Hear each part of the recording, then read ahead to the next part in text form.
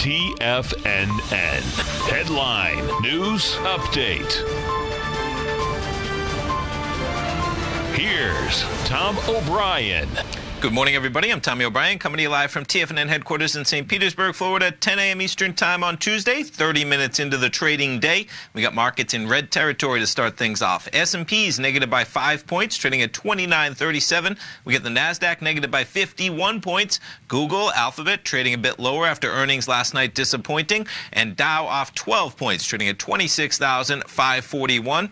Notes and bonds, higher price, lower yield, 10-year note up five ticks, 123.18. 30-year bond up 11 ticks, 147.10.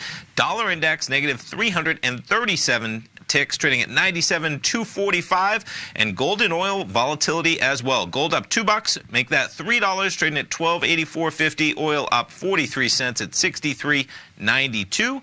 We'll start it off. Let's jump over to the charts. We'll start it off with the Dow. So a little bit of roller coaster this morning. 8 a.m. We spike from about 26,594. We reach a high at 26,640. We're now off more than 100 points from that level, and you can see kind of the escalation. There's your 930 opening bell bar. We're sitting right at about 26,600. The Dow trades down 100 points in the last half hour.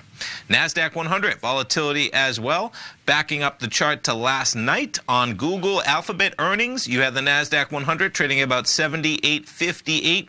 We're down a solid 60 to 65 points from that level of 77.92 in that NASDAQ 100. S&Ps early this morning up there at 29.45. We're now off about 9 points from that level, trading 29.36. Gold contract volatility as well. Just since about 8 a.m. this morning, you trade from 1287 down to 1282, back up to 1287. Gold trading at 1284.58.